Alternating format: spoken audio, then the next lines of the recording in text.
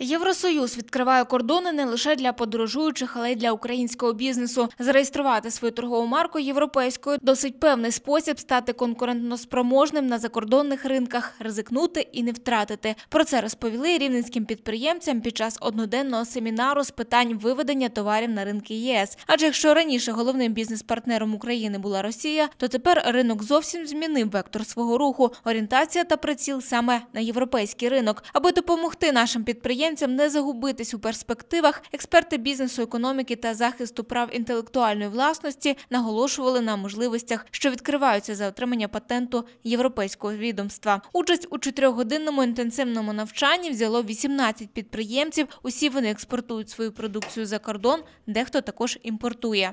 Продукція наша завойовує все більше і більше ніші.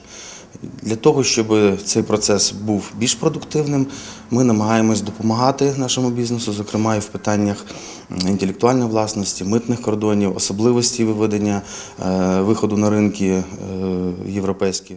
Захист об'єктів інтелектуальної власності важливий аспект при виході на ринки ЄС, передбачений угодою про асоціацію, адже в її рамках Україна та ЄС досягли домовленостей щодо спільних підходів у цих процесах згідно положень законодавства ЄС, міжнародних практик та конвенцій. Угода про асоціацію з ЄС передбачає зобов'язання України з питань охорони інтелектуальної власності, в тому числі об'єктів промислової власності, таких як торговельні марки, винаходи, промислові зразки та інше. Про що слід пам'ятати, розповідають експерти. Є багато особливостей, в тому числі е, законодавчих щодо реєстрації, щодо е, перевірки, е, щодо судових, в тому числі спорів з даного приводу. Тому варто звернути увагу і дослідити, провести облік своїх об'єктів інтелектуальної власності, провести перевірку перед виводом такої продукції, щоб не допустити відповідних порушень.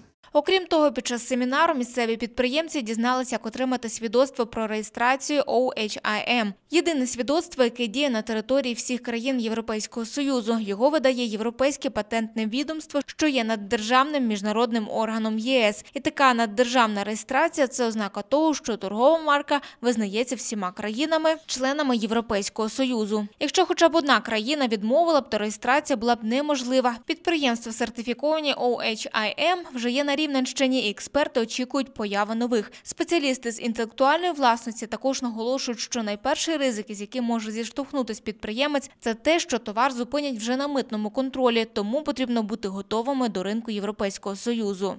Як захистити це ну в першу чергу звернутися до юристів, провести облік власних об'єктів, провести дослідження і вивчення законодавства, в тому числі Європейського союзу, і готуватися до виведення е, продукції на ринок з усіх фронтів від якості до уже оформлення самої упаковки, самої торгової марки, яка буде наноситись і індивідуалізувати даного підприємця.